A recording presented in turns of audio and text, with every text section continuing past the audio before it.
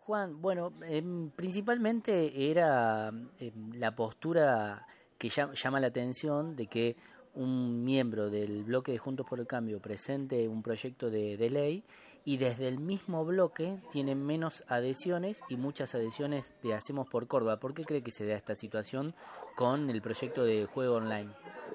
Bueno, me parece que, digamos, ya hoy con todos los acontecimientos que se han eh, suscitado, lo primero que nos llamó la atención es que en este tiempo donde Córdoba se ha eh, erigido casi como la provincia récord en materia de pobreza, de desocupación, con problemas de seguridad, eh, con una crisis eh, laboral en lo, en lo creciente, la legislatura provincial eh, determine una agenda donde le da prioridad al tratamiento de la legalización de las apuestas online.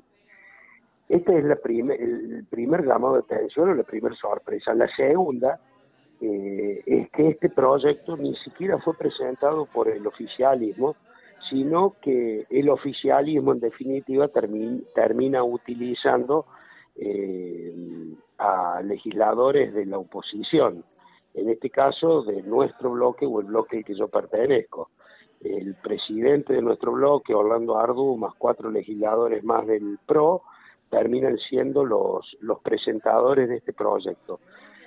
Que nadie entiende por qué, pero además, eh, independientemente de cuál es la postura que se puede tener en el tema, eh, lo que se ha solicitado de distintos sectores sociales, políticos, eh, religiosos de toda la provincia es que por lo menos se dé la posibilidad de debatirlo, de discutirlo y de, y de eh, tratarlo con los tiempos necesarios, porque es un proyecto de una magnitud, por la magnitud que tiene, por la importancia que tiene y por la controversia que se ha generado, mínimamente lo que se debería hacer es dedicarle el tiempo correspondiente a la discusión. Es más, nosotros en la propia comisión, eh, cuando se realizó, planteábamos la posibilidad de generar audiencias públicas donde todos los sectores pudieran expresarse.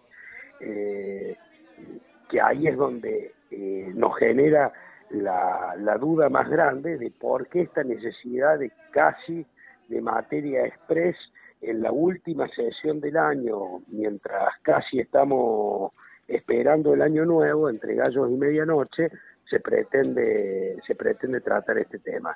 Pero además todos los referentes políticos de Juntos por el Cambio, dirigentes eh, de orden nacional como Luis Juez, los senadores nacionales, los diputados nacionales, los legisladores, los presidentes de los partidos políticos, el presidente del radicalismo, eh, absolutamente todos se han manifestado eh, contrarios a este proyecto y se sigue insistiendo. Entonces la verdad que eh, nos genera innumerables interrogantes que por supuesto eh, no somos nosotros quienes tenemos la respuesta de por qué han hecho lo que han hecho. Eh, siguiendo el hilo de, los argumentos que usted está expresando, hace minutos hablamos con quien presenta el proyecto, que es el legislador Orlando Ardú, y él menciona que este es un proyecto de Juntos por el Cambio y que la mayoría de los dirigentes que forman parte del bloque en la legislatura de, Juntos por el Cambio apoyan esta iniciativa. Em, un poco se contradice con las expresiones públicas que se están dando de miembros, no solamente de ese bloque, sino, como usted menciona, a nivel nacional. Eh, ¿Esto podría derivar en alguna ruptura del grupo, del, del bloque? Digo, porque son posiciones tajantemente diferentes sobre un tema, como usted bien dice, muy sensible y muy central.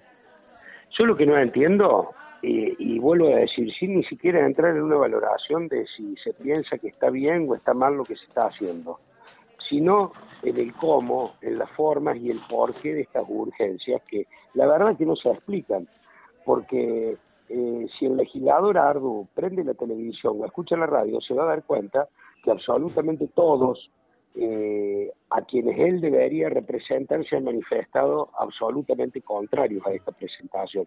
Lo mínimo que creo yo debería hacer, eh, si atrás de esto no hay ninguna otra intención que por lo menos uno pueda, mm, digamos, visualizar Mm, se, puede inferir que, está más de acuerdo con Hacemos por Córdoba esta propuesta que con el bloque Juntos por el Cambio. Bueno, me parece que sí. Unión por Córdoba, yo creo que ha sido inclusive, eh, este es otro de los interrogantes, ¿quién es el verdadero autor intelectual?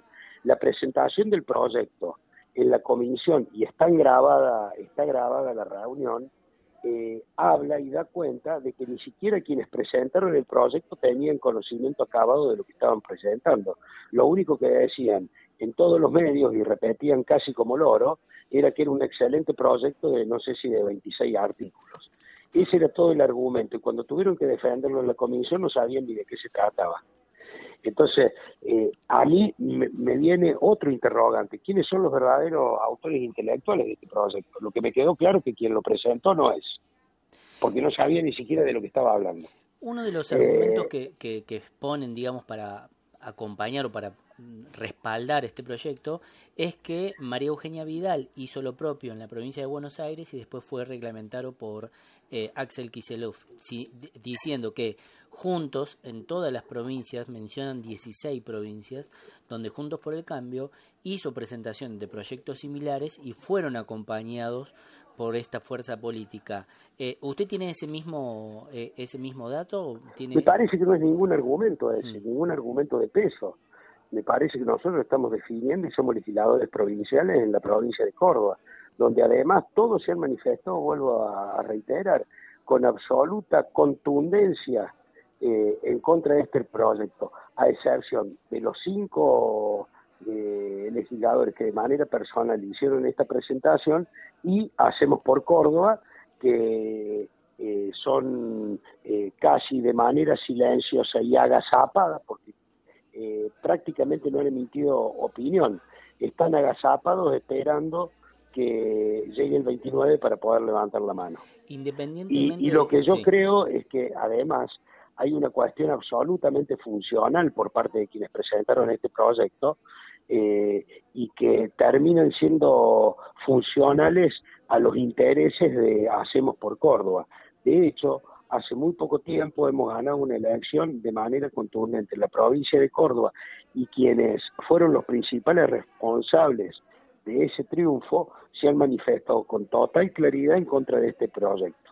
Entonces, eh, me parece que Mm, no, no hay demasiados argumentos en ese sentido y, se hace muy difícil el, el, seguir eh, intentando encontrar caminos comunes con quienes eh, están más cerca del oficialismo que quienes tenemos que generar una alternativa superadora en la provincia de Córdoba.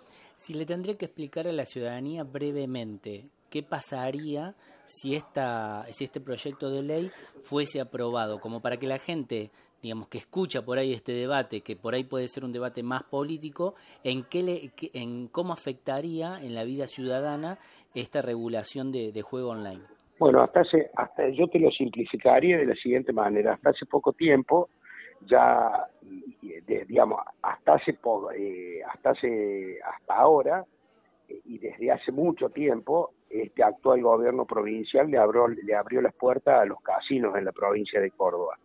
Había que ir al casino a jugar, con todos los perjuicios y con todos los, eh, los dolores que generó la instalación del casino a lo largo y a lo ancho de la provincia, no solamente en términos económicos, sino también en términos sociales. Bueno, con esta ley ya no van a tener ni siquiera que ir al casino, se lo ponen en el living de la casa. Perfecto clarísimo eh, el punto de vista. Por último, eh, en el caso de que se, se prosiga, por, está claro que la intención es llevarlo al recinto y discutirlo, por lo menos de parte de eh, los miembros de Junto por el Cambio que hicieron la presentación del proyecto. Si esto prosigue, es decir, si hay, como usted menciona, hay cinco legisladores que están de acuerdo, pero todo un bloque que está en contra, ¿esto puede generar a la división del bloque de Junto por el Cambio en la legislatura provincial? Y lo que pasa es que esto no tiene que ver con cuestiones políticas, tiene que ver con convicciones y tiene que ver con formas de proceder y tiene que ver con eh, las pertenencias y, además con algo hasta, te diría, más profundo, con el tener claro para qué uno ocupa una banca y a quién representa cuando uno se siente en una banca y, y de qué lado del mostrador uno pretende estar. Entonces a mí me parece que se llega a un momento donde no hay margen para, para compartir un espacio cuando algunos estamos pensando en el daño que se puede generar a quienes menos tienen en esta provincia y otros están pensando de qué manera y además artera han presentado este proyecto para entre gallos y medianoche eh, eh, sacarlo.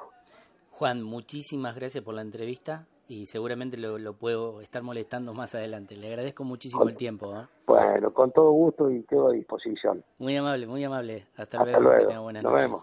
Chao.